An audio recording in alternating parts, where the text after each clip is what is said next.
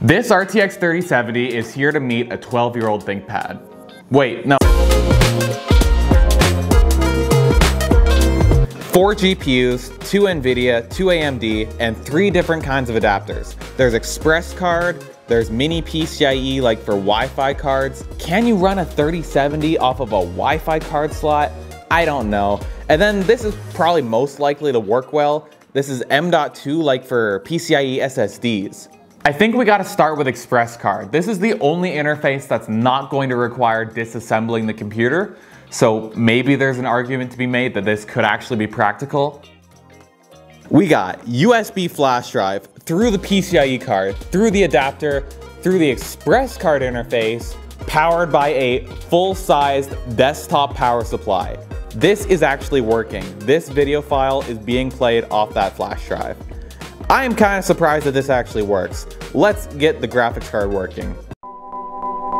I tried to get the 750 Ti to work, crashed the computer every single time. I tried to get the R9 270X to work.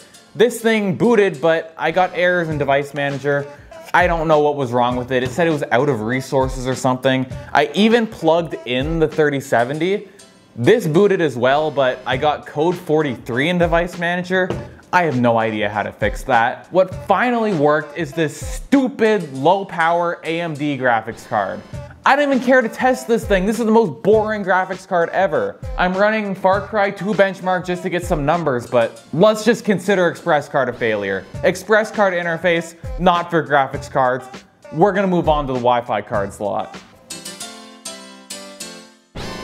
I wasn't expecting this to be the reason it doesn't work, but it turns out Lenovo whitelists their Wi-Fi cards, and apparently this is not an approved setup. Major Lenovo L for locking this stuff down. I guess we're gonna skip mini PCIe and go straight to these M.2 interfaces.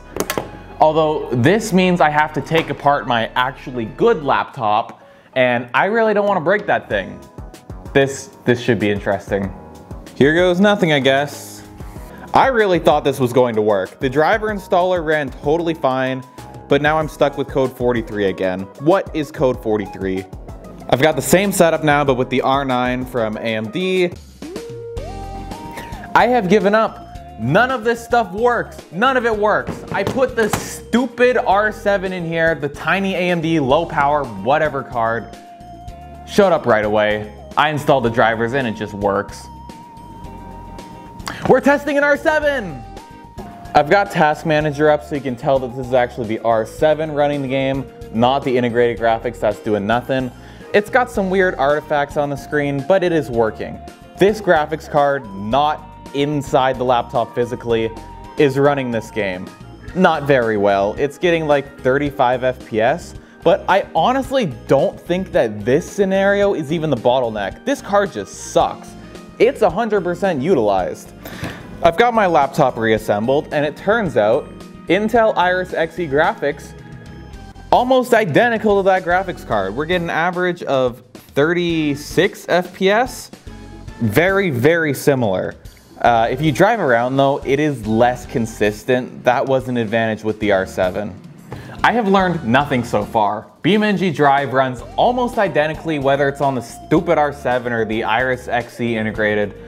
Let's at least find out if there's any bottleneck with the adapter and put this R7 in a proper desktop and see if there's any performance improvement. I'm gonna go get Brandon.